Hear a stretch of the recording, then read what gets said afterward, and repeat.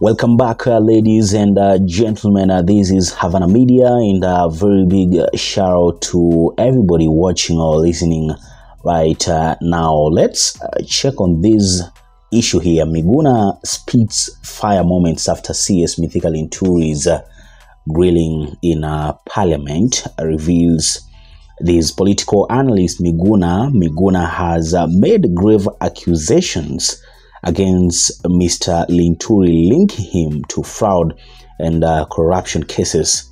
Miguna Miguna made strong remarks that uh, clearly alluded to Mr. Linturi's purported involvement in embezzling public funds and uh, selling illegally counterfeit fertilizer to farmers in Kenya.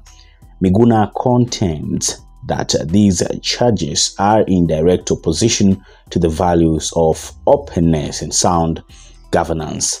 Miguna's claim that Mr. Linturi's actions constitute one of the biggest scandals of uh, the current administration, directly implicating President Ruto, Deputy President Rigathi Gachagua, and other government officials by association highlights the seriousness of the situation. Many Kenyans identify with uh, Miguna's unwavering stance, rejecting any justifications or attempts to defect or deflect criticism from uh, the accusations. And it will be interesting to watch how the parties involved in the controversy react to these uh, grave charges and whether any action is taken too early the worries expressed by Miguna Miguna and the general public. This is uh, Miguna through the X account. Mr. Linturi, your theft of public resources and the fraudulent and criminal sale of fake fertilizer to Kenyan farmers have nothing to do with your family love life.